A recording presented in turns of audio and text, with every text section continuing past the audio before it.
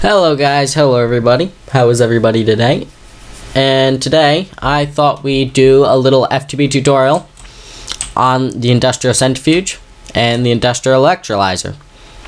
So basically today I'm going to go through how to use them, you know, what they do, what they're used for, how to build them. So let's just jump straight into it. So yeah. So basically, for the industrial centrifuge, which we'll start off with, you need two machine blocks, an extractor, two advanced circuits, and four refined iron. I'm not going to go through how to make each one of these. If you type them in on here, you can see the recipe. Yeah, see if you have recipe mode on and you search them up, you just click on them and it'll tell you, and then you can click on the individual things and it'll tell you. So yeah, so basically that's how you do it. That's how you build it. Then if we go over here, basically it runs off of low voltage, meaning that if you have high voltage, so if you have something that creates loads of energy like these, they create tons of energy, you need to put it through a medium voltage transformer and a low voltage transformer into this. Okay, the industrial centrifuge. If it goes off of medium power, it'll just explode. If it goes off of high power, it'll just explode. Now basically, what you need for this to run is cells. That's all you need for it to run.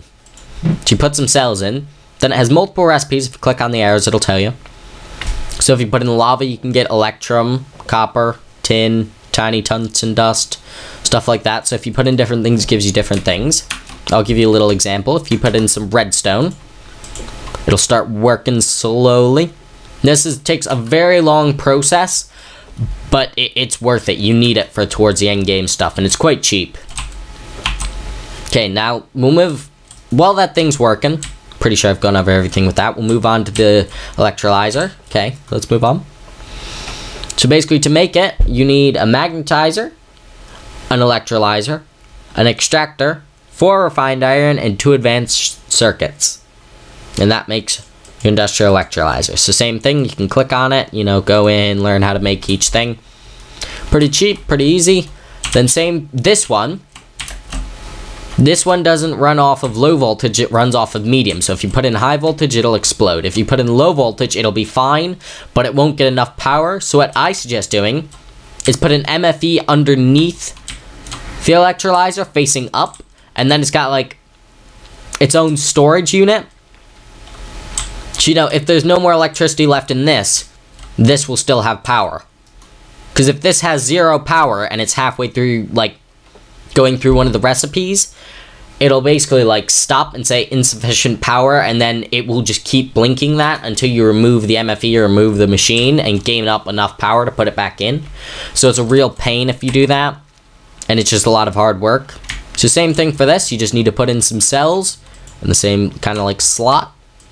Take your take your item, put it in there. Got your recipes, you know. Put in some water. Some water and some compressed air can go through and look at everything. Some pretty good stuff on here.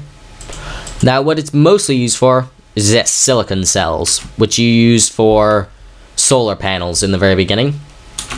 So, yes, let's go see if these are done. See, this one takes forever.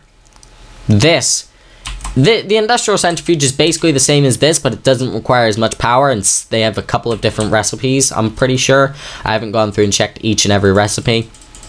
But yeah, you can get silicone with this. Where's the silicone? Hmm. So much methane. Probably just quickly find how you make silicone in this. Yeah, it's quite useful. Put in 16 rubber wood, get 8 sticky resin. That's worth it. And, okay, I can't find it. I just know this one's making silicone.